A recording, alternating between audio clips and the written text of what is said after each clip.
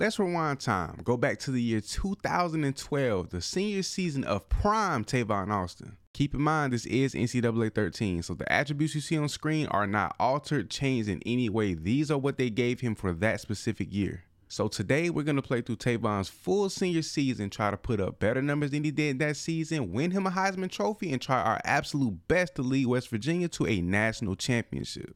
Down here in the red zone, second and nine, midway through the first quarter, Tavon will secure his first receiving touchdown of the 2012 season. Here on a ridiculous third and 21, Tavon gets bullied at the line, but this catch in the end zone would make up for all of that. He goes up top to secure another touchdown for West Virginia but he wouldn't have a problem getting off the line again. Then he goes up top and makes a nasty head tapping catch on this defender, and that elite speed that he possesses puts him in the end zone for the third time in the first half. Showing out is an understatement. This man is straight up embarrassing this defense. He goes crazy, burns this man at the line, goes up top to high point this ball, comes down with his fourth touchdown of the first half. Y'all know in his prime, Tavon was known to go crazy in the return game. So here before the second half, he's going to get involved, picking up a pretty decent return. The sun is going down a little bit, but so has the morale of Marshall. But Tavon, he's going crazy, having an amazing day. With this catch, he's going to break a school record for the most receiving yards in a single game.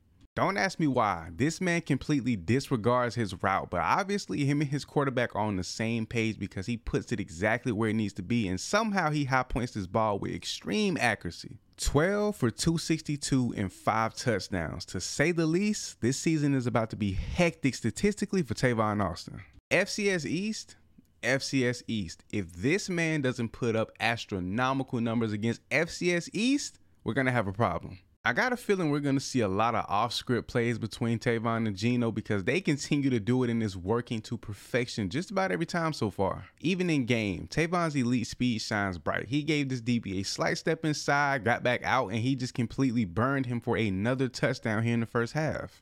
Already having a dominating lead here in the second quarter, now this man is back here stealing kick returns. And when he got this little bit of space, he made something happen. Got multiple guys missing, going crazy, getting freaky. I love the way Geno's throwing the ball, leading Tavon in the open space, allowing him to keep his forward momentum. They're already looking like the most dynamic duo of the season. A 52 point win over FCS East, which was expected, but another 200 yard performance. Let's see if the Mountaineers can keep this momentum up. Week three, they're ranked number five in the country, and they got the Terps this week. And of course, to kick this one off, we're gonna see five foot eight Tavon high pointing these balls like he's six five. This is probably one of the craziest plays I've ever seen. Geno put this ball in the traffic, but Tavon to spin around, stoop all the way down to the ground, make this catch. This man is not human, bro. Man, for this DB to not get a jam at the line on Tavon, then stand his back pedal for as long as he did, he deserved to get toasted on this route. But he does have elite speed. He almost hawked him down. And somehow, early in the third quarter, the Mountaineers find themselves down 11 points to the Terps. But of course, if this man has something to say about it, it wouldn't be like that for long. And somehow, here in the fourth quarter, they find themselves down 11 points again, which is crazy. But this lob pass over the top by Geno, absolutely beautiful. And the catch, right in the bucket. It's a tie ball game. Just over a minute left here in the fourth. Tavon is going to be wide open, but Geno is going to put this ball in the back of the end zone. They're going to pick up the touchdown and they're going to pick up the win. For Tavon to have less than 10 receptions, but nearly 300 yards for three consecutive games is one of the most impressive things I've ever seen. Hold on now, I wasn't expecting this out of a 5'8, 174 pound receiver going up top and holding on to this ball through contact. I don't know what it is, but when these corners have help over the top, they don't feel the need to press at the line, which is a huge mistake. That allows them to pick up a walk in touchdown and take the lead here early in the second quarter. But of course, when they do decide to press at the line, is man coverage and there's no safety help over the top, which is going to land this DB in a terrible position and Tavon with another big catch. So far, throughout the first half, it's been a pretty close game, but Tavon's going to extend his lead with a nice but easy catch across the middle for his second touchdown of the game and somehow they get the ball back with less than a minute left in the first half. And of course, Tavon and his offense is going to capitalize on this opportunity and pick up another touchdown. And I don't know what happened from the first half to the second, but this defense has completely fallen apart. But one thing about this West Virginia offense, they continue to dominate. And Tavon breaks another school record. And even though they're up 11 points here in the fourth quarter, Tavon's going to keep his foot on the gas, picking up another touchdown, putting this game completely out of reach. They got the number 13 ranked Longhorns on the road this week in these beautiful alternate uniforms, and he's going to start this game off flipping his way into the end zone. Pressed at the line and there's help over the top, you think this play would be over for Tavon, but instead, the safety makes the worst decision of his life biting on the inside route, and he picks up another touchdown.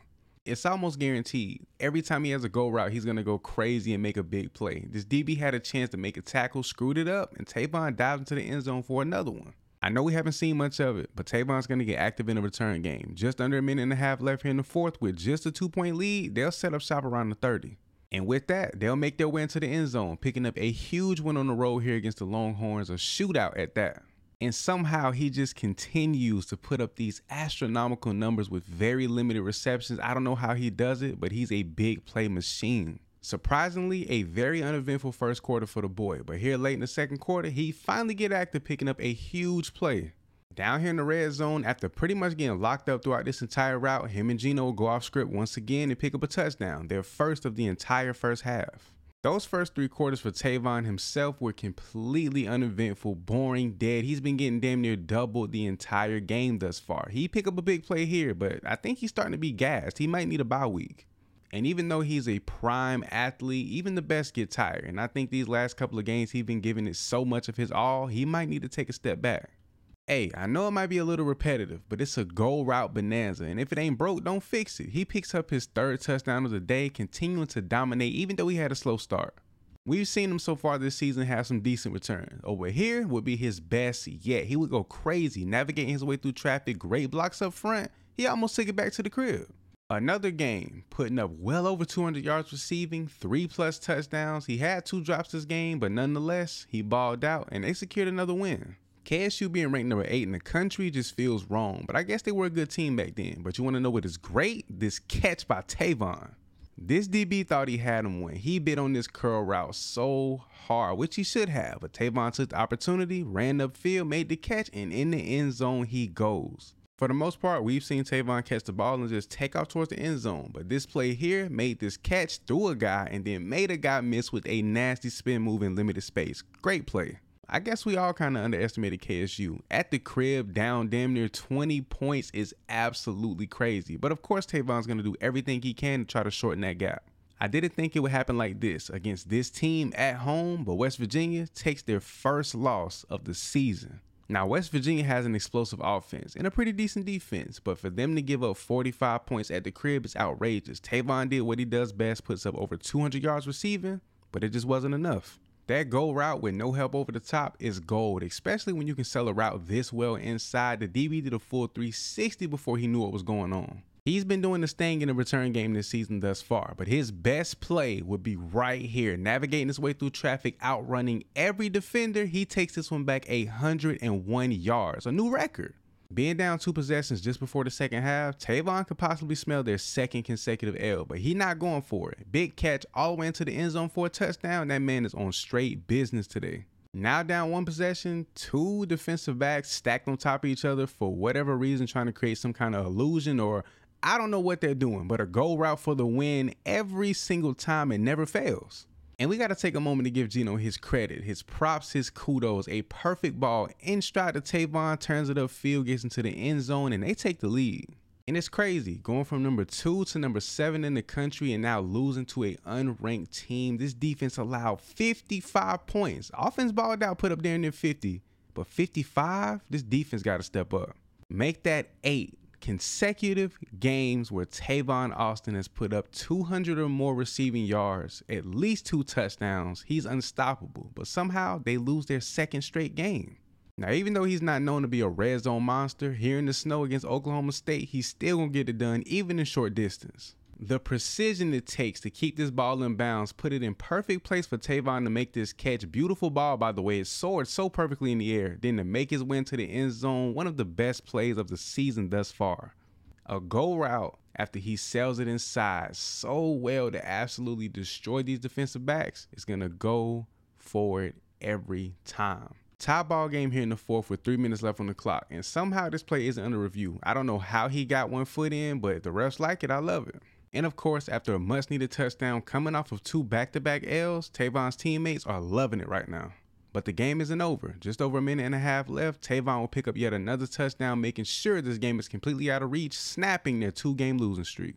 And to think, for a short period of time, this was the number two ranked team in the country. And now this week at home, they have number seven ranked Oklahoma. I don't know what it is, but when they're down anything, whether it's a point, two, three, a touchdown or more, it does not matter. This man shows up, shows out, and he puts points on their board every single time. He really is an underdog type player. But hey, I guess when you're that undersized playing against top tier D1 talent, you have to ball out with a chip on your shoulder and be kind of the underdog. Have that mentality.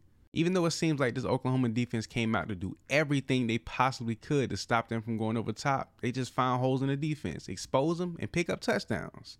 To see this offense perform at the highest level, probably the best in the country thus far, averaging the most points of any other team, but this defense has to be last in points allowed. My gosh a five point lead late in the fourth quarter. This man gonna go crazy. Big blocks up front, great navigation through traffic, taking up the numbers, going crazy, picking up the game sealing touchdown. Hands down, the best performance probably in the history of college football. Over 300 receiving yards, seven total touchdowns. He went crazy. There's nothing else to say. He went. He just went crazy. It's a beautiful sunny day here in Iowa, which is kind of odd to say, but what's even more beautiful is this head tapping catch on the second play from scrimmage, breaking the tackle, getting into the end zone. Go off then. A beautiful release at the line, and this safety doing God knows what leaves Tavon wide open and unfazed in the end zone for a tub. A curl route? No. A streak? Yes. Tavon is stride for stride the entire way through this DB. He pulls away just enough to make the catch and secure a touchdown. At this point, I think they're just doing what works. Tavon is completely going off script pretty much every single play, doing what he wants, but he finds open space and finds his way into the end zone. It just doesn't stop. But obviously, nobody on that West Virginia sideline has a problem with it. He literally single handedly dominated this game, and the defense actually did pretty good today, only allowing 24 points, which is still a lot, but better than usual. You thought last week he went crazy? Over 350 receiving yards, under 10 receptions, 5 touchdowns, 0 drops, dominating performance. That was nasty.